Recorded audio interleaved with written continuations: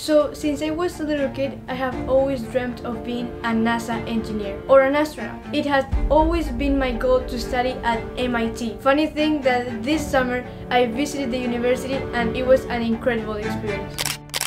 The thing is, I've always admired how people in the past had accomplished so many things with the little technology they had. For example, in 1969 with the launch of Apollo 11 or even more backwards with the pyramids. That's why today we're gonna launch our own rocket with the 2022 technology and maybe a few of my skills. So let's do it. Before launching the spaceship, we have to design it. But of course, I'm not going to use paper and pencil. So I took my Chromebook, opened the sketchbook app and made a rough sketch of what I wanted my spaceship to look like. I took a lot of inspiration from the Discovery rocket launched in 1984. Then, as usually, I wanted to take that rough sketch into a more three-dimensional perspective. But in this case, we're not going to use clay. We're going to use my favorite software, Blender.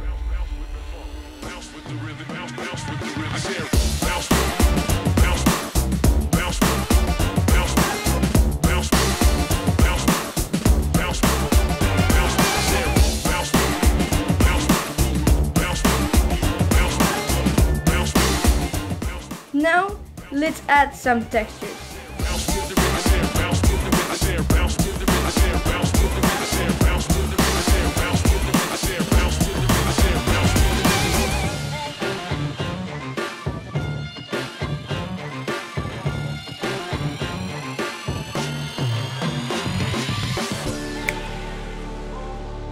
Now that we have the models, let's start making the smoke and fire for a rocket.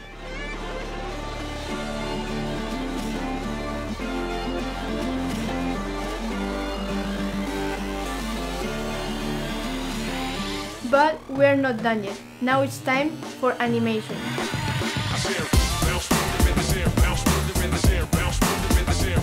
So, while I am animating, let me talk to you why being the first man to go to the moon was such a big deal.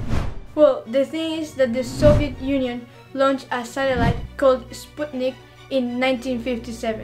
And then in 1961, the Russian astronaut Yuri Gagarin accomplished orbiting the Earth in the Vostok 1. These two events were a major hit to the United States and of course the NASA. Then after two months, the president surprised everyone by saying they will bring a man to the moon and back completely safe. And then on July of 1969, the first ever man stepped on the surface of the moon. This act was not only important for science, but also it was important to show all the countries of the world that the United States kept their promises. Okay, I finished animating. Now, as usually, it's time to take it to the next level. That's why we're going to launch a rocket right here with a little bit of compositing. Let's do it. And here is the final result. But first of all, subscribe. Now, let's dive into it.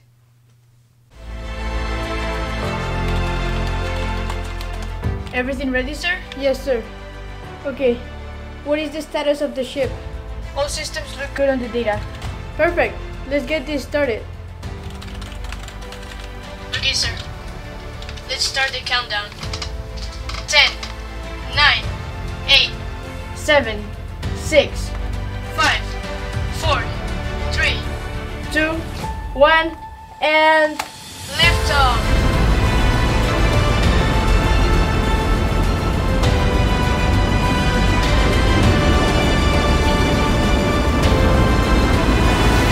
Congratulations, sir. Man, that was good.